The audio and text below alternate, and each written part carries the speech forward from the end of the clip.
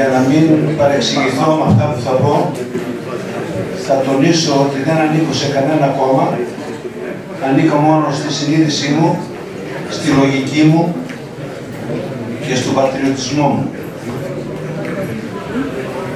Θα πιαστώ από μια κουβέντα που είπε η κυρία Τηλιγιορίδη, ότι παλαιότερα ε, εξαγγέλθηκαν πράγματα για την περιοχή μας και ποτέ δεν πραγματοποιήθηκαν.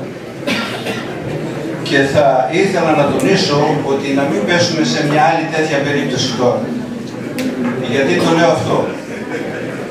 Πριν από ένα μήνα η Καστοριά δεν ήταν μέσα σε αυτούς τους προγραμματισμούς που θα περνούσε το φυσικό αέριο. Διερχόμεθα, θέλετε δεν θέλετε, αυτή τη χρονιά, εκλογική χρονιά. Να μην πέσουμε στην παγίδα ότι αναγγέλουμε κάτι και έρχεται η επόμενη κυβέρνηση ή ο επόμενος υπουργός και δεν δούμε τίποτε. Δεν είναι κάτι που δεν το έχουμε δει σε αυτή τη χώρα. Είναι πολύ τακτικά έχει γίνει και σε αυτό που είπε η κυρία Τηλεγιορίδου, ότι να σας θυμίσω ότι όταν έγινε η αρχιτεκτονική